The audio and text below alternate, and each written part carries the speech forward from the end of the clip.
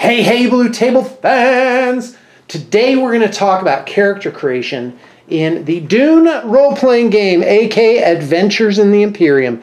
And I love this game. I've done a, just a tiny little bit for it. Uh, tomorrow I have an official session that I'm going to run with everybody showing up with characters already made. I'm really super ridiculously excited for that. I've done a ton of prep. So let's dive in. First off, what's unusual about Dune is that you you make a house as a character. So the group has a character which is the house that they're from. So there's actually a character creation for creating houses. And that's the topic of another video. So let's just see if I can get into that section. So this is all background. About a third of the book is background.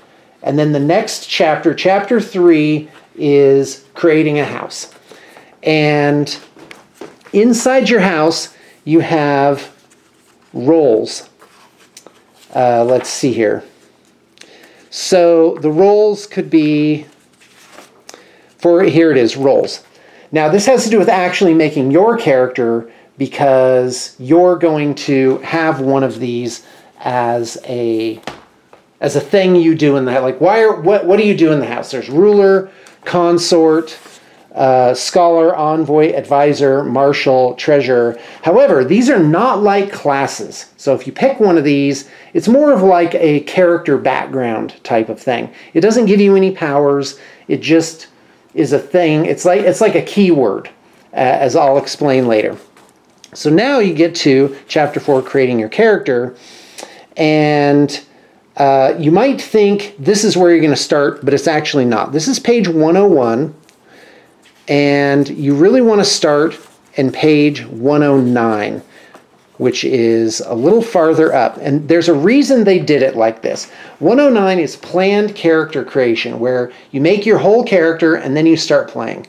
And the reason why you have to have this introduction and then this is because there's another type of character creation, which is called creation in play, where you say you create like a third of a character and then you decide as you go along and you're actually playing what their deal is, which I think is a great idea. But for somebody coming from a traditional role playing game and into Dune, you might get a little confused by why they set it up this way.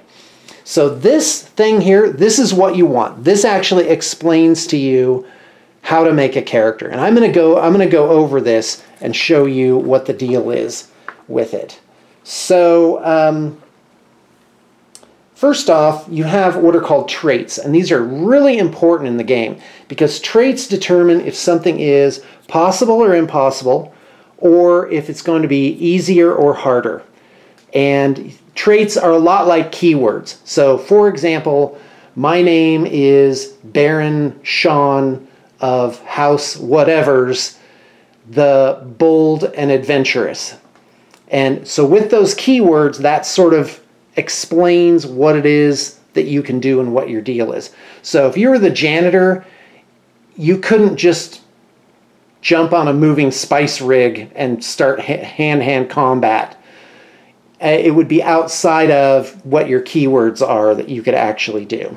And by the way, this is very much a storytelling game. There's not a lot of crunch, there's not a lot of tactics, there's not a lot of hard rules, but there's a lot of very interesting mechanisms to tell a story, which is why I'm really loving it. So we're back at 103 and uh, yeah, we're going to have to jump around a little bit. So the real character creation is 109. Step one is your concept.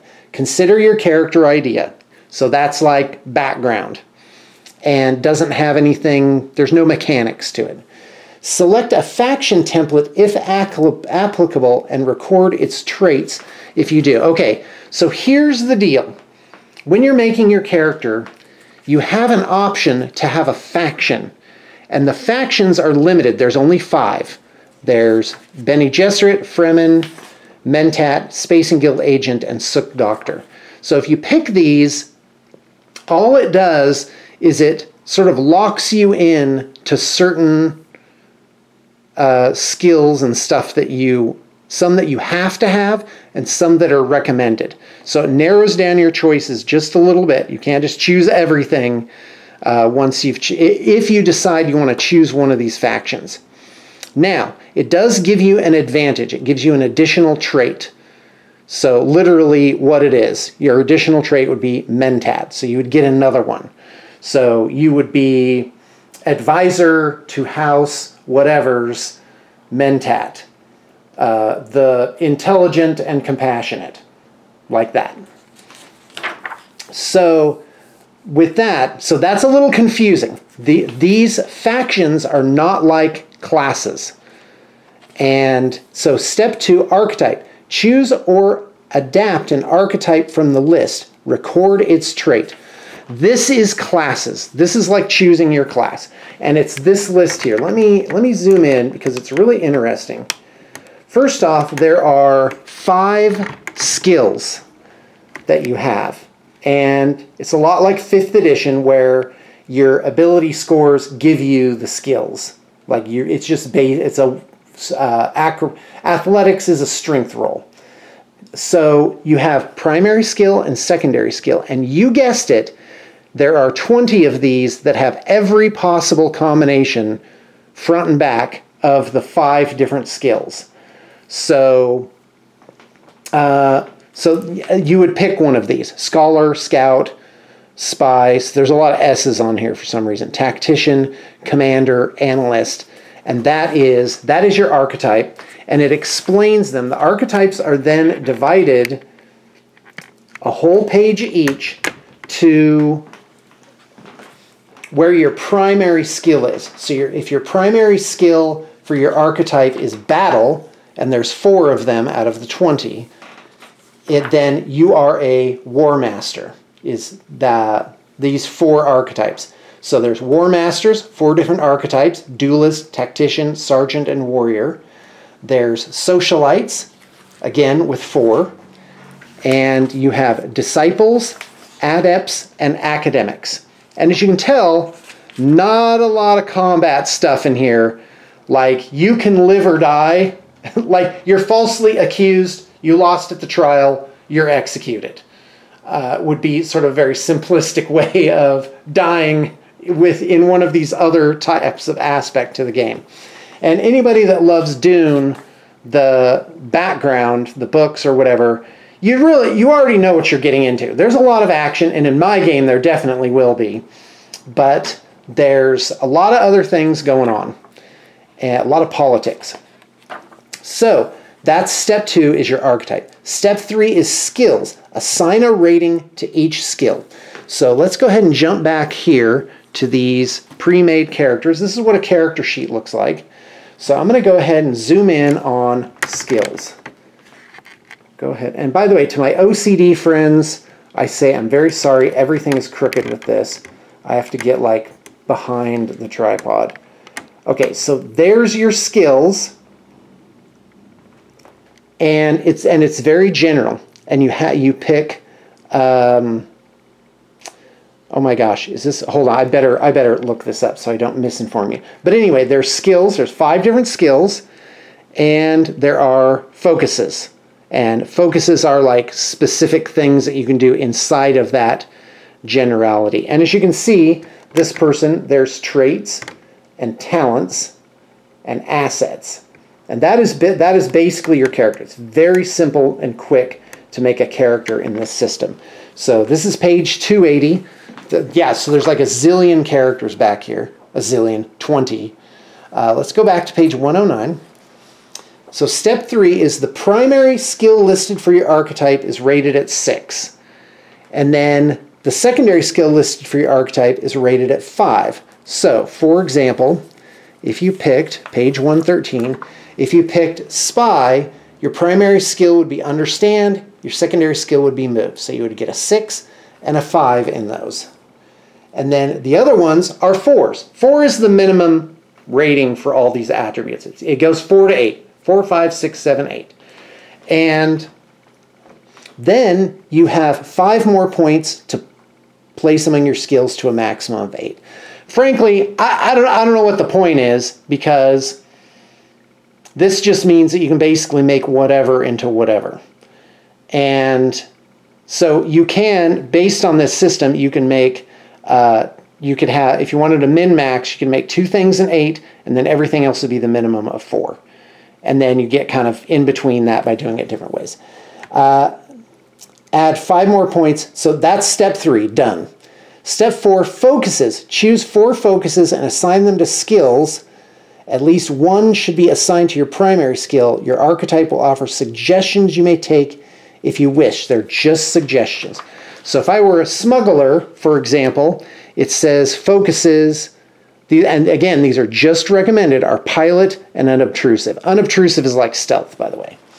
So you go and you get you get your four focuses. And it gives you a page number 103. So this is kind of in the preliminaries of character creation. So here are a bunch of them. And these are just examples. And by the way, you can make it up. You can make up whatever your skill is. You can just, so uh, let's take a look at some of the battle focuses a little more closely. Yeah, I know this video isn't super pro. Uh, yeah, there you go. So dueling, evasive action, shield fighting, short blade, sneak attack, strategy, tactics, unarmed combat, blah, blah, blah. So basically, whenever you're doing a focus, uh, so, uh, yeah, I'm going to explain the significance of this. So normally, anytime you make a roll, you get 2d20. And so let's say, so I'll tell you why those focuses are important. So here's my character, Spy Infiltrator. Yeah, there you go. And so let's say I want to I want to uh, sneak around. Let's say I got unobtrusive, which I think is a move skill. So it would say unobtrusive, and then it's a move skill 5. So that would mean I would get two dice, and I would have to roll a 5 or under to get one success. And normally you only need one success. And however, because I had a focus in that, every time I rolled a 5 or under, it wouldn't just be one success, it would be double. It would count as what's uh, called a critical. So I would crit. So if you're using one of your focuses, you crit if you get uh, equal to or under that number. Now, if you have, as a, a really cool part of this game system, drives are like why your character does what they do. And if you have a drive associated with the, the skill that you're using or whatever it is you're trying to actually do, then, so if your drive is, I want to uh, kill this other house, uh, then and you were doing that like you're trying to sneak in to do whatever's, uh, you would add this to your skill. So you would have so if he had the drive was justice five and move five, he'd need a ten or less to get a success, and every five or less would be a critical, would be two successes. So you can't just roll. You can't just be like, oh, I make a stealth roll. You gotta you got to figure out why you're doing it, which is an interesting aspect of Dune. And and really just a bonus because if you just get rid of this then you just you just have your skills and there's different ways you can roll additional dice with momentum um, you can have re-rolls based on talents that you have to re-roll certain types of things and whatever but okay back to character creation so uh, 109 is your critical that's the page that you want like this explains how to make your character. All right, so now we've done our focuses. Now we do talents. Each archetype suggests one talent. Faction characters must pick all mandatory talents, but otherwise have free choice for any remaining picks. So you oh, and you choose three talents. So talents are like kind of like powers or feats, I guess, from other systems. And uh, there's a there's a whole list of talents back here if I can uh, find them. Yeah, talents. So there you go. And uh, there's, oh, no. Oh, yeah, here you go. A whole section on talents. And these are really super important. These are going to give you a lot. And what I love about this is as you get advancement points, kind of like experience points, you'll get like four to 10 advancement points per session. And to advance something costs between four and 15 advancement points. So every session, you if you played really well, you could be improving something about your character. It's really cool. I love the advancement system in this. Okay, talents. We did that. Step six, drives and drive statements. So I kind of already explained that. So for your drives, you have the numbers 8, 7, 6, 5, and 4 to allocate. And then that's it. They, they don't change. So it's really interesting because you're defining what really is important to your character and what your character is all about with your drives. And this doesn't become just sort of some sort of froofy game background that's just a role play opportunity. It actually adds to the all sorts of the roles that you're making. Like to get those drives into your roles, it's really important. And so, but you get to pick your drives. You literally like come up like in uh, English class, you get to pick it. Oh, I'm running out of battery. Jeez. All right, well, we're almost done. So you uh, make, uh, for the three highest ones, you make drive statements like, you know, I want to find out the truth of my existence. I, I don't know, stuff like that. So anyway, step seven is assets. So basically you get three pieces of equipment or but it could also be contacts, it could be blackmail stuff, it could be all sorts any sort of assets, physical or non-physical. And by the way, this is going to cut out any second. Um, so choose your assets character carefully. Now, if you find uh, a gun on the ground, you can pick that up and still use it, but it only lasts for that scene. So if you want something to persist, it's kind of like Iron Man's suit. Like he's always got that suit somehow. How is that? Well, that's part of his character. It's an asset. And like Thor's hammer. I know I'm using comic book character references, but that's basically how it is. You can't get rid of that hammer. And so assets can, you can change the story of your character and get different assets. Uh, you can acquire them, but they're only temporary unless you've actually purchased them and made them an official part of your character. Step eight, finishing touches. So uh, that's traits. You have an ambition. Ambitions do matter, like something that you really that you really want to achieve, and then uh, a little bit more background. So that is Dune character creation. It's really awesome. It's a lot of fun. It's really quick. It takes 20 or 30 minutes, including a lot of talking, to sort out what the deal with your character is, to make a new character. It's actually the fastest, least crunchy system that I've ever done before, and I think it's really cool. All right, thanks for tuning in.